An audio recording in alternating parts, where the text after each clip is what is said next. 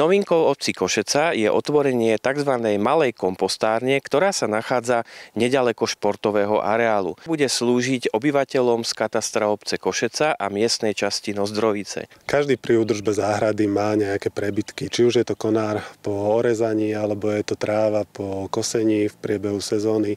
A my sme prišli s myšlienkou, ktorá nie je úplne nová, dať k dispozícii obyvateľom malú obecnú kompostáre na to, aby sa práve týchto zvyškov zo záhrady mohli zbaviť, pokiaľ nemajú dostatočné kapacity na spracovanie vo vlastnej záhrade. Máme otváracie hodiny, pondelok a piatok sú to hodiny doobedné, v stredu je to po obede od 13. hodiny a každá posledná sobota v mesiaci je k dispozícii takisto malá obecná kompostáreň. Sú nejaké komodity, ktoré tu ľudia vyslovene nemajú nosiť? Určite sem nepatrí iný odpad ako odpad zo záhrady. Čiže Môže sem ísť lístie, môže sem ísť tráva, môže sem ísť burina, môže sem ísť konár a veci podobné, ktoré sú plodom záhrad. Pri tom kompostovaní sa využije aj drevná hmota, ktorá bola nejakým spôsobom vyťažená v obci?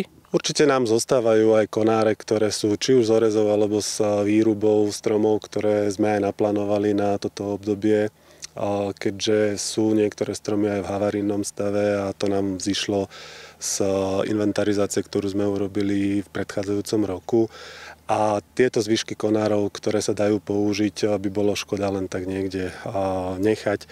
A samozrejme ich použijeme v základkách, ktoré sú v malej obecnej kompostárni. Čo všetko musí vykonať občan, keď príde ku vám, ku vašemu stolu? V prvom rade vlastne zaznamenám jeho údaje, odkiaľ odpad vyváža, aby bolo zrejme, že je občanom Košece, pretože pre Košečanov, pre občanov Košece a Nozdrovíc bola táto kompostárne zriadená. V prvom rade sa skontroluje materiál, ktorý doviezol a rozstriedí sa na mieste e,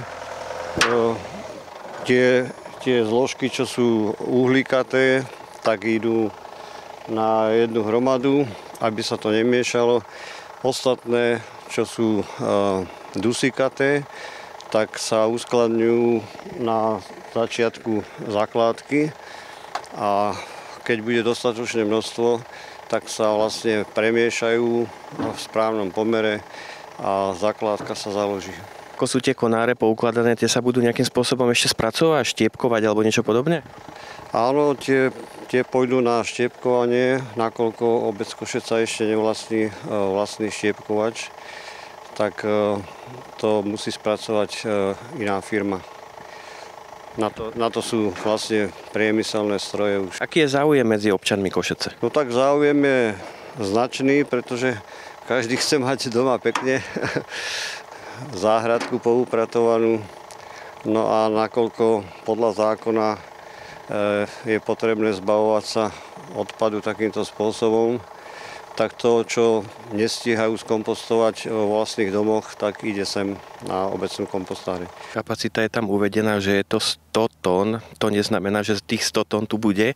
Tak ako sa to bude priebežne využívať, tá drevná hmota, ktorá bude tu umiestnená? Drevná hmota nám slúži na to, aby práve táto uhlikatá časť sa dostala do základky kompostu. A teda vytvoríme kompost z tých hmot, ktoré sa dávajú do seba v určitom pomere za podmienok, ktoré kompostovanie potrebuje mať k dispozícii, aby správny kompost mohol vôbec vzniknúť. A následne finálny produkt ako kompost sa dá použiť na úpravu terénov v našom parku, na verejných priestranstvách. Po prípade ľudia si môžu tento kompost prízobrať do kýblikov alebo do tačiek, ak budú potrebovať vysadiť niečo aj doma. Pokiaľ zverejňujete niektoré informácie, ktoré sú potrebné k tejto kompostárni, kde ich ľudia nájdu?